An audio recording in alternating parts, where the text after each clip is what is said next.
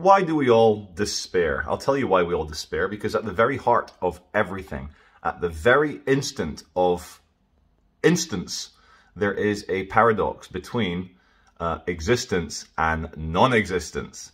The very essence of your reality is a self-resolving paradox. Now, what do I mean by paradox? I mean a, a mathematical and conceptual absurdity, which uh, breaks rules of logic. Now, to ask the question, why does the universe exist, is a is an almost a, a self-proving uh, divine question because to even be able to conceptualize and cognize a abstraction, an abstraction such as why does reality exist? How come reality exists? To even ask that proves um, that you are not an unthinking collection of forces and atoms and probabilities. Whether you believe in a top-down creator creating all of reality, or, um, as is my current suspicion, you start to think that it's one giant parallel dance between the paradox creating a self-resolution of itself in an infinite timescale, thus allowing the ghost in the machine to rise, and that is something we can call consciousness, self-awareness, subjectivity, or, let's go there, are you ready, atheists? Are you ready for the bad word? Are you ready? Or even God. Now,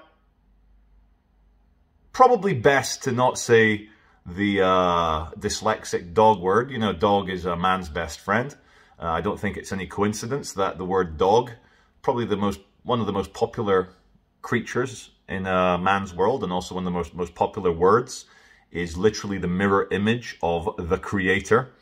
Um, doggos, little doggies, um, especially nice ones, can demonstrate a level of uh, joviality and loyalty which we would find angelic in our Homo sapien brothers and sisters.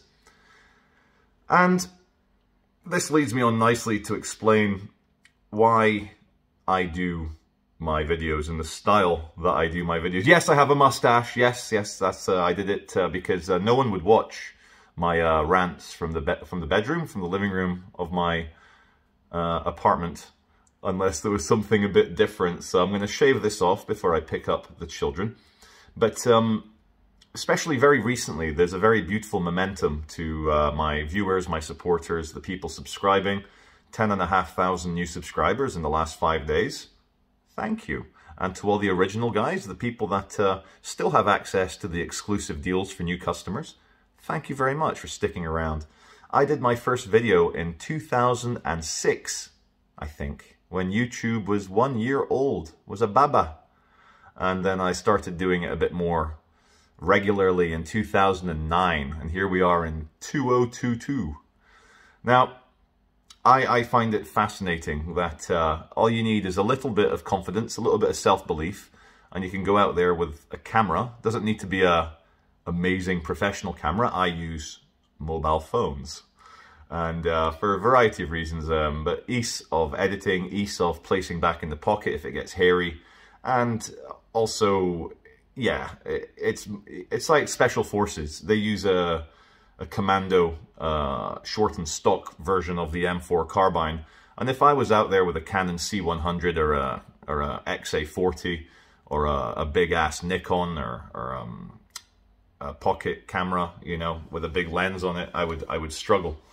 So I discovered that uh, every single square meter of this planet has the potential for incredible fun, honor, joy, beauty, and comedy. Above all, comedy.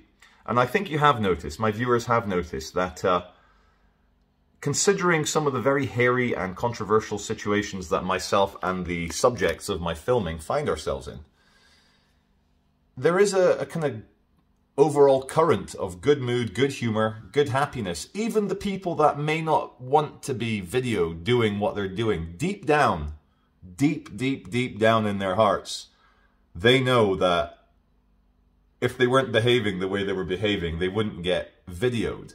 So we're all we're all missing that nice um, that nice strict uh, patrician look at ourselves we're all missing uh, an older brother who could uh, help us and guide us and be strict for us and be stern when we uh, err and be happy and thankful when we do well. We're all missing that. I had a, a beautiful comment um, because I, am almost 42. I'm uh, I've got a, a, very very large new and very welcome uh, young viewer base now. Uh, the Sparta kick that went viral on TikTok and Instagram. Uh, thank you very much to the uh, to the uh, my dancing partner in that video. It was seen by I think now close to 50 million people worldwide. And so a young guy, a young man wrote a comment that warmed the cockles of my heart. And he said, I've been watching Charlie Veitch videos now all day for two weeks and he's turned into my dad. Now, unless the young man's father is a, a spontaneous street YouTuber with a very controversial style, I think what he means is um, the energy he gets from me is um, family friendly and uh, helps him to grow into a fine young man. Now, I can't ask for more. Now, I think a few gratitudes are in order as I as I wrap up this video. Gratitude obviously to all my viewers and my growing viewers, to all the people that comment. And I love the comments, guys. I don't have time to heart and answer them all. I did a couple this morning. But uh, there's too many of you, and I still managed to read the vast majority. So do comment, I read them. Someone left a comment this morning saying, Charlie's too popular now, too many viewers to even read or answer his comments. So I read and I answered his comment to uh, prove him wrong.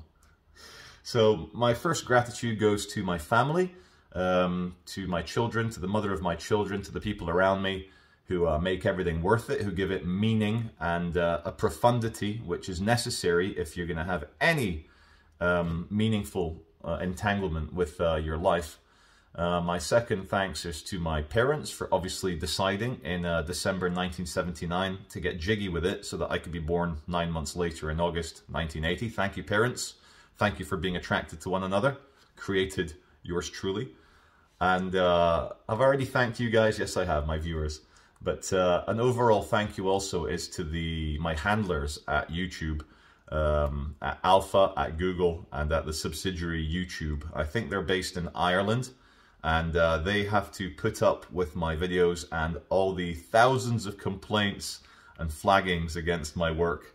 And uh, they had a chance to behead me to execute me a few weeks ago because uh, I got uh, far too many community strikes in one day and they they chose mercy. They chose to give me a, a third chance and uh, for that, uh, my YouTube handlers, I'm eternally grateful. This is Charlie Veitch on a very cold and rainy Wednesday afternoon. I believe it's the 30th of March, one day to go until it's uh, Fool's Day. So uh, have a good one, guys. There's no city center video today. I've got too much on like uh, being daddy. So uh, have a good one. I hope uh, some other YouTubers get out there into some city centres here in the UK and abroad and provide us with the footage. Provi Did I say that right? Provide us with the footage that we all crave. This is Charlie Veitch. Thank you very much for watching.